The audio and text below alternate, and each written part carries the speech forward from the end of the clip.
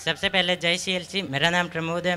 मेरा नीट में स्कोर 685 रहा। मैं आपको बस यही कहना चाहता हूँ कि आप सिली मिस्टेक पे ध्यान रखें और लास्ट के टाइम तीन चार महीने होते हैं, उसमें ज़्यादा प्रेशर ना ले और ज़्यादा बोझ ना ले। लिमिटेड ही पढ़ना है। जैसे कि हमें एक टीचर ने कहा था कि उन्होंने तो सेमीकंडक्टर पर तीन साल काम किया है, लेकिन हमें तो पढ़ना सिर्फ़ चौदह दिन का ही है। तो ज़्यादा एक्स्ट्रा ऑर्डिनरी क्वेश्चन करने की कोशिश नहीं करनी है और जो हमारे नीट में आते हैं, सिर्फ़ उन पर ध्यान देना है। इसके अलावा जैसे कि कोई कोई बच्चे होते हैं कि नीट में ऐसा क्वेश्चन आ जाता है।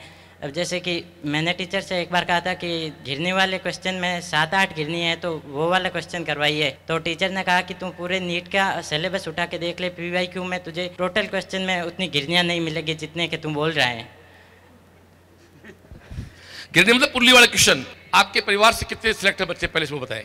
मैं अभी अपने परिवार से अभी पांचवा सिलेक्शन हूँ। पांचवा डॉक्टर आप सीएलसी से क्या बात है?